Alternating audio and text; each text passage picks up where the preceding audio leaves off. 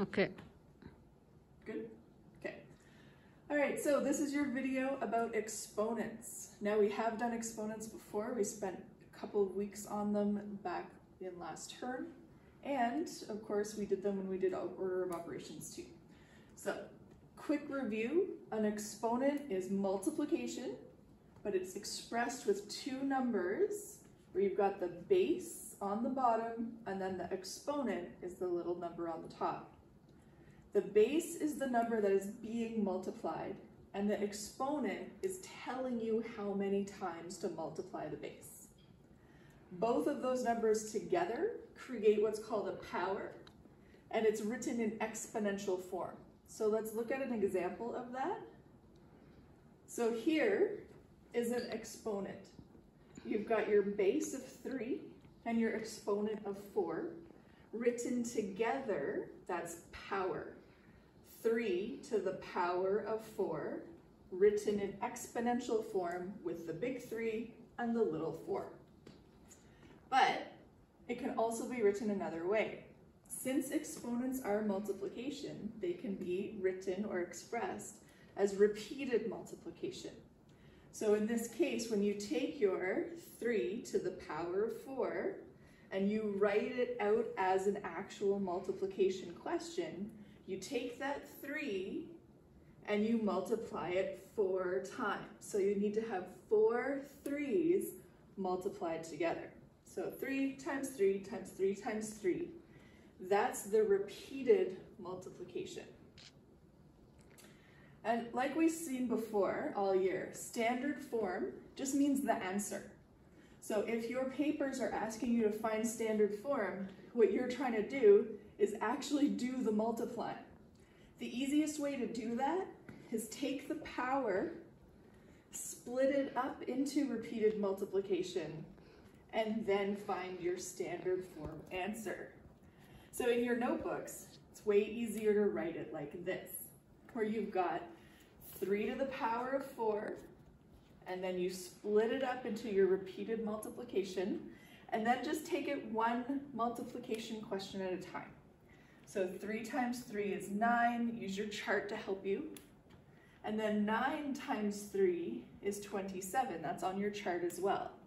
But you are going to get to larger numbers that aren't going to be on your multiplication chart. So 27 times 3, not on your chart, you're going to need to do an outside calculation to figure that out. So you take your 27, you multiply it by the last 3. 3 times 7 is 21, carry your 2. 3 times 2 is 6, plus the 2 that you carried is 8. So 81 is your standard form answer. So this is what a lot of your multi, a lot of your exponent questions are going to look like in your notebook. Now, the first couple of pages of your homework package, where it says on page one, write the exponent, page one, write the base. Obviously, those are questions where you're just decomposing and figuring out what parts are the exponent. You don't have to answer those ones like this. So let's do a couple of examples from page one. So we're on page one. We're going to do question number one. Oh, that's an L. So question number one is asking you, write the exponent. So if I have 4 to the power of 5, the exponent is the 5.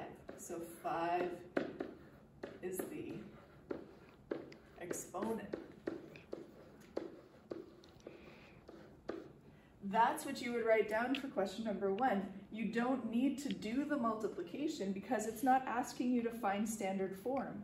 It's not asking you to find the answer, it's asking you to identify the exponent. So take a look at question number nine. Same thing, write the base. This one I've got 4 to the power of 2. The base is the bigger number on the bottom, so I know that 4 is the base.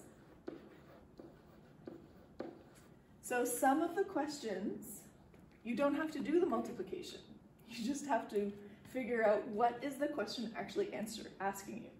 This one's only asking you to identify the exponents. These ones are asking you to identify the base.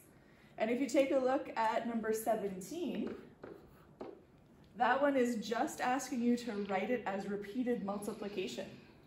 So if I have 5 to the 2, and I need to write that as repeated multiplication, 5 times 5, two fives times together. And then the last example that we're going to do is 25. So on page one, number 25, it says write an exponential form. So that means you have to write it like a power. And so they give you 2 times 2 times 2 times 2 times 2 times 2. And you need to write it as a power in exponential form. So I know that 2 is my base, it's the thing that's being multiplied, but how many 2's do I have? One, two, three, four, five, six. So my exponent's going to be 6. So for 25 to 30, this is how you're going to do it. And we still haven't even done any multiplication yet. You just need to identify the bits and pieces of what makes exponents work. When you get down to number 39, that's when you are going to start doing the multiplying. So you can see that from then on, it's right in standard form. So that's find the answer. All right, so if you have any questions about exponents, of course, get in touch with myself and I will help you answer any questions. And we'll be uploading a video tomorrow about order of operations and BEDMAS to help you with that as well.